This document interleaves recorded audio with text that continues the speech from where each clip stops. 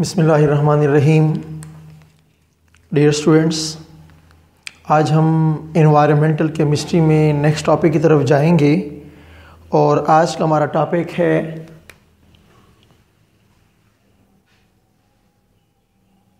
Green house effect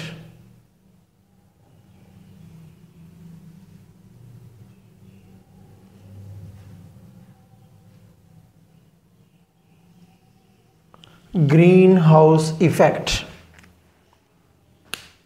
मैं brief सा introduction दे दूँ आपको कि ग्रीन हाउस कहते किसे हैं, फिर हम उसके बाद ग्रीन हाउस इफ़ेक्ट की जाने पाएँगे। याद रखें, हमारे पास 1824 में 1824 में जोसेफ फोरियर एक मैथमेटिशियन था जोसेफ फोरियर एक मैथमेटिशियन था। उसने हमें ग्रीन हाउस इफ़ेक्ट के बारे में ब्रीफ सा आइडिया दिया, बड़ा ब्रीफ सा।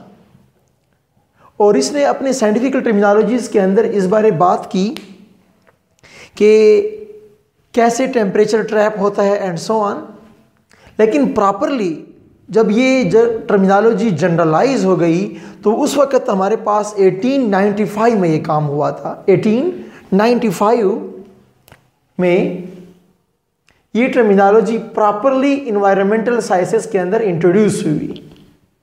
हमारे पास वो साइंटिस्ट था एस आर्हीनियस प्लीज़ ये आर्हीनियस थ्योरी वाला नहीं है प्लीज़ एस आर्हीनियस एक स्वेडिश फ़िज़िकल केमिस्ट्री और फिजिक्स का एक्सपर्ट था। एस ऑर्हीनियस एक स्वेडिश साइंटिस्ट था फ़िज़िकल केमिस्ट्री और फिजिक्स के ऊपर उसको ठीक ठाक किस्म का होल्ड था। उसने क्लाइमेट के ऊपर एक थ्योरी पेश की थी। उस थ्योरी का नाम था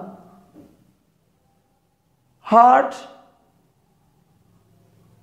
हाउस थेरी। Hothouse theory. इसका मतलब ये हुआ कि ग्रीन हाउस इफ़ेक्ट में जो ग्रीन हाउस है, ये पहले पहले हार्ट हाउस कहलाया करता था। उसके बाद फिर क्या हुआ? उसके बाद फिर इसको ग्रीन हाउस का नाम दिया गया, ओके? ग्रीन हाउस किसे कहते हैं? ग्रीन हाउस किसे कहते हैं? आइए पहले इस बात को समझिए कि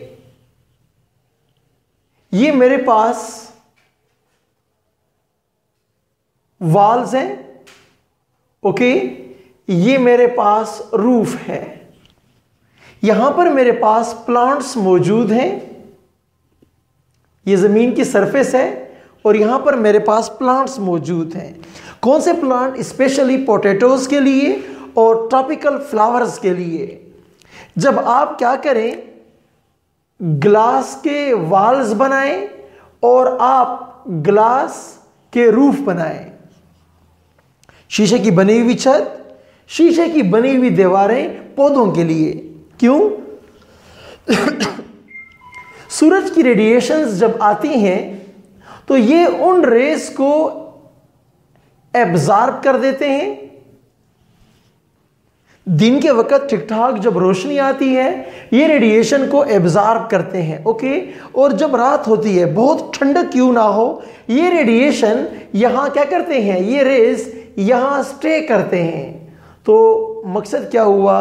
प्लांट्स को एक अच्छा टेम्परेचर जब प्रोवाइड करना हो तो ग्रीन हाउस का इस्तेमाल करते हैं। ग्रीन हाउस इफ़ेक्ट के बारे में नेगेटिव ना रहें प्लीज़ हम बाद में डिस्कस करेंगे कि ये पॉल्यूशन इन्वायरमेंटल पॉल्यूशन कब बन जाता है ओके इन्वायरमेंटल इशू ये कब बनेगा? पहले हम क्लियर करते हैं टर्मिनोलॉजी को कि ग्रीन हाउस किसे कहते हैं।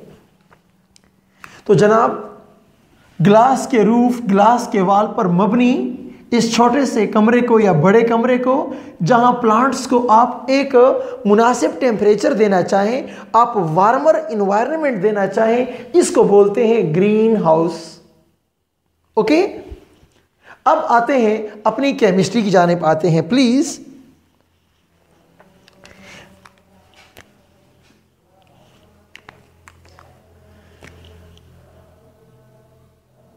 ग्रीन हाउस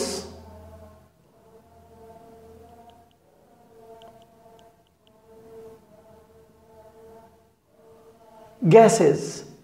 शॉर्टकट इसको जी एच जीज भी कहते हैं ग्रीन हाउस गैसेस पुराने ज़माने में कार्बन डाइऑक्साइड पे हमारा इल्ज़ाम था कि सारा काम कार्बन डाइऑक्साइड करता है। Just the only greenhouse gas considered was carbon dioxide लेकिन आज की दुनिया में हम ये सब जानते हैं कि कार्बन डाइऑक्साइड के अलावा नाइट्रस ऑक्साइड इसके अलावा मीथेन इसके अलावा क्लोरोफ्लोरोकार्बन्स इसके अलावा ओजोन इसके अलावा वाटर वेपर्स वाटर वेपर्स और सबसे खतरनाक nitrogen trifluoride and sulphur hexafluoride ये लिस्ट है हमारे पास ग्रीन हाउस गैसेस की। ग्रीन हाउस गैसेस की हमारे पास ये बहुत बड़ी लिस्ट है। तो प्लीज़ आज क्लियर कर लें कि सिर्फ़ CO2 को हम ग्रीन हाउस गैस नहीं कहते, बल्कि nitrous oxide laughing gas methane chlorofluorocarbons ozone NF3 and SF6 including water vapors, all are considered as greenhouse gases इन सबको हम ग्रीन हाउस गैसेस कहते हैं। इन सब में कौन सी एबिलिटी मौजूद है? प्लीज़ याद रखें, इन सब में एक एबिलिटी मौजूद है। ये सब के सब हीट को इंट्रेप करने की एबिलिटी इनके अंदर मौजूद है। ये हीट इंट्रेपर्स हैं। अब टापे की तरफ़ आते हैं। ये मेरे पास अर्थ सरफेस अर्थ सरफेस ये मेरे पास सन तो आप जानते हैं कि सन से रेडिएशंस आ रही हैं।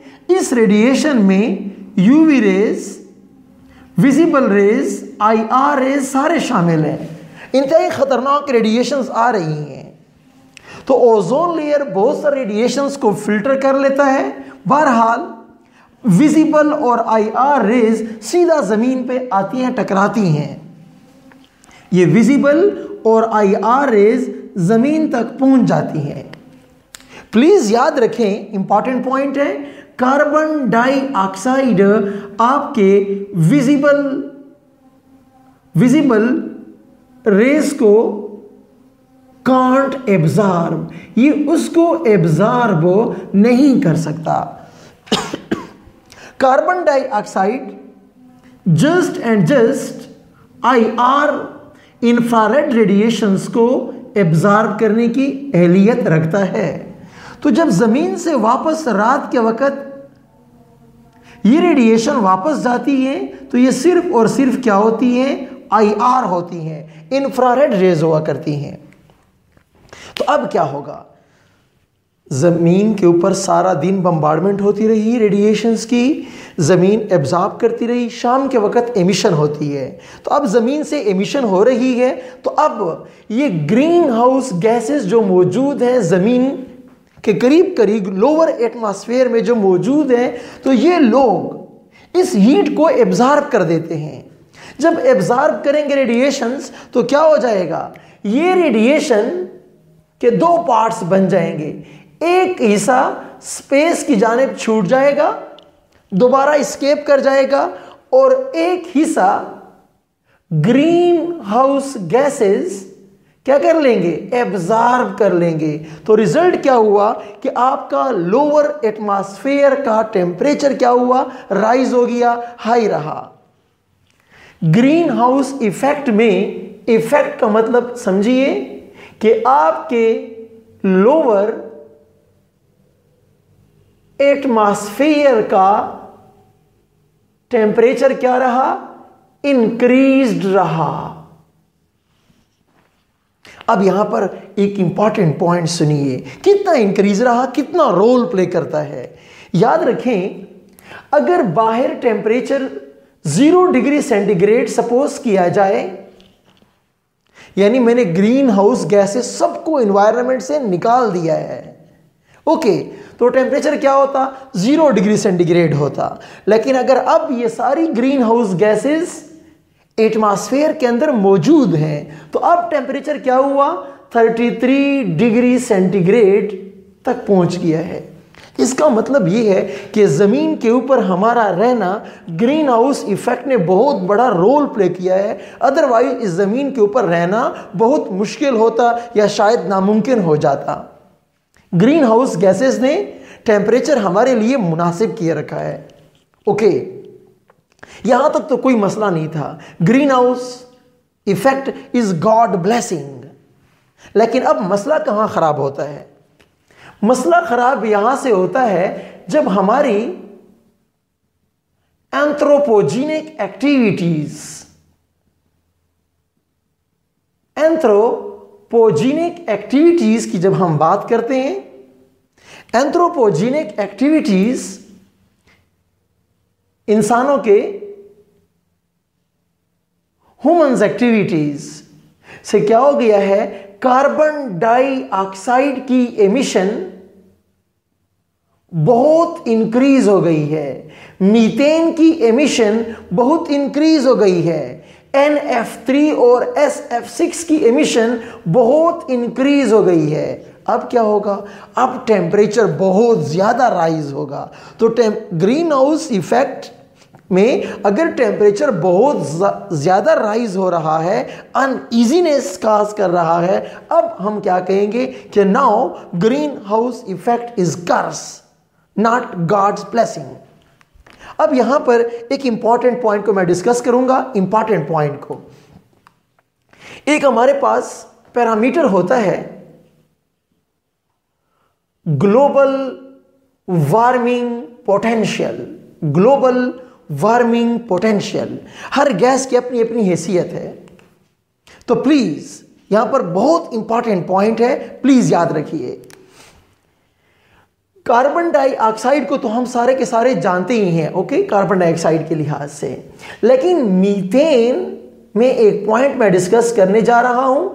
इसके अंदर 25 टाइम्स मोर अबिलिटी है मोर अबिलिटी है than carbon dioxide this is termed as a global warming potential हर चीज़ की अपनी अपनी एबिलिटी है हीट एब्जॉर्ब करने की तो मीथेन में ज़्यादा एबिलिटी है बनस्बत कार्बन डाइऑक्साइड की।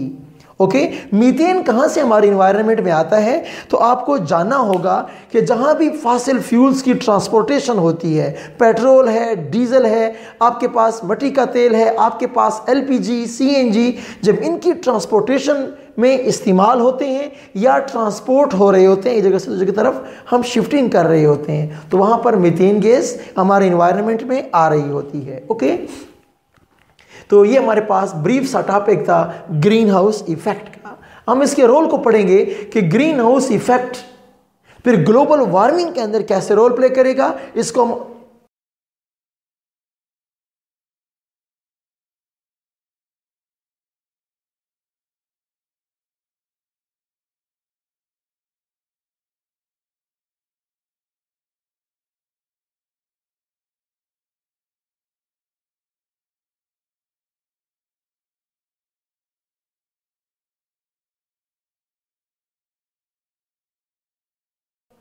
इसी नेक्स्ट टॉपिक के अंदर फिर डिस्कस